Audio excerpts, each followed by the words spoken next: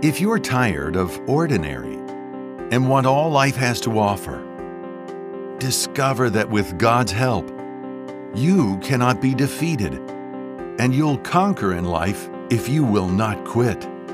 Gifts and calling of God are without repentance because He may temporarily led you to do something else.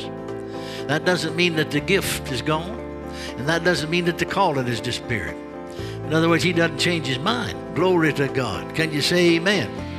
Did you know that you have a divine destiny? Well, you do.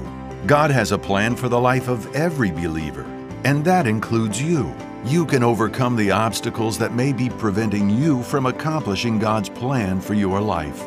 These faith building books and CDs are available now for only $34.95 by calling toll free 888 Praise 8 or by visiting rhema.org.